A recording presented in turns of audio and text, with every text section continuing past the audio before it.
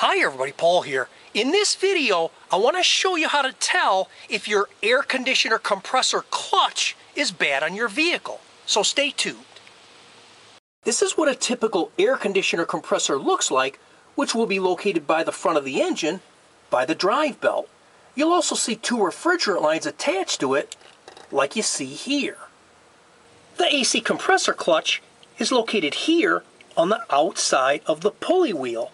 The clutch only turns when it's called upon to circulate refrigerant through the air conditioner system. So the clutch turns on and off as needed to deliver cool air. The clutch system is electromagnetic, which is what allows it to engage or disengage from the compressor pulley wheel.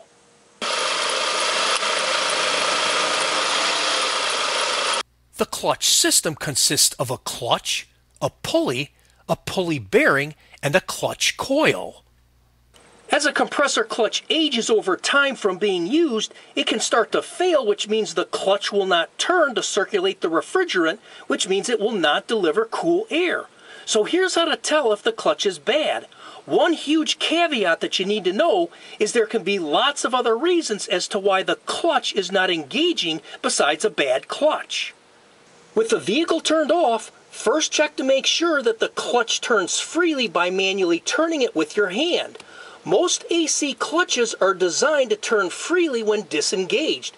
If the clutch will not turn freely, then more than likely the pulley wheel is seized.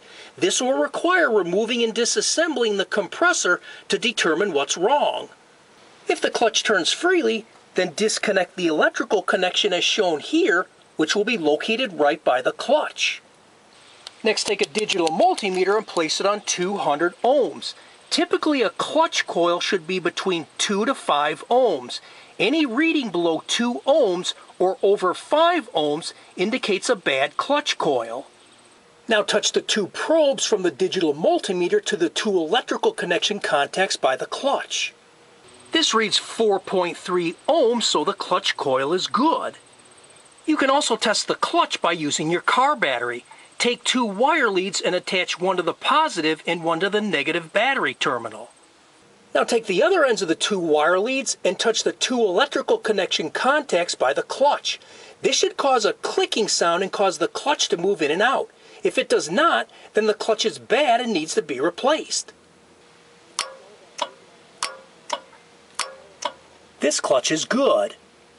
Another big caveat is sometimes it's just as cost effective to replace the entire compressor as it is to replace just the clutch system.